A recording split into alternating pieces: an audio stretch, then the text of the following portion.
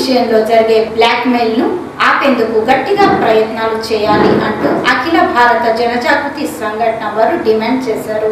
శాసనం వారి నుండి పేద ప్రజల కుటుంబాల కోసం చౌక ధరలో ధాన్యం సరఫరా చేసేందుకు నగరంలో మరియు జిల్లాల్లో ఎన్నో ధాన్యపు దుకాణాలు ఉన్నాయి.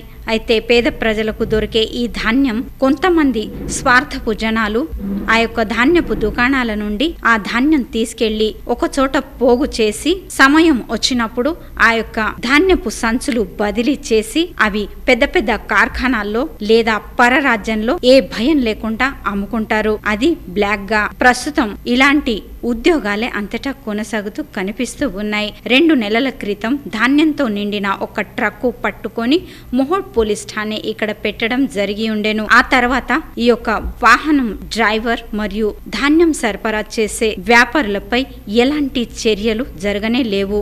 సోలపూర్ నగరంలోని కొంతమంది పెద్ద వ్యాపారదారులు ఈ యొక్క వాహనం విడిపించుకునేందుకు మొహోడ్ పోలీస్ స్టేషన్ మరియు తాలూకా పోలీస్ స్టేషన్ ఇక్కడి అధికారులకు మరియు జిల్లా పురవఠా అధికారి కార్యాలయంలోని కొంతమంది వరిష్ట అధికారులతో ఈ విషయం గురించి మాట్లాడి తైలం అందించినట్టు చర్చలు కూడా కొనసాగాయి. ఇలాంటి ప్రకారాలే గత వారంలో జరిగినట్టు కనిపించింది. యార్డులోని ఒక వ్యాపారం వారి నుండి రేషన్ దుకాణాల్లోని గోధుమలు విక్రయం చేసే ఉద్దేశంతో ట్రక్కు సోలాపూర్ ఇక్కడికి వస్తూ ఉండగా ఆ యొక్క ట్రక్కుని రెడ్ హ్యాండెడ్ గా పట్టుకోవడం జరిగింది అలా పట్టుకొని జైల్ రోడ్ పోలీస్ ఠాణేలో పెట్టడం జరిగింది ఈ విషయం గురించి పోలీస్ వారి విచారణ తర్వాత వారిపై యోగ్యమైన చర్య చేపట్టాలి అంటూ యొక్క डिमांड అఖిల భారతీయ జన జాగృతి సంఘటన ప్రదేశాధ్యక్షులు రషీద్ పఠాణ్ వీరు చేశారు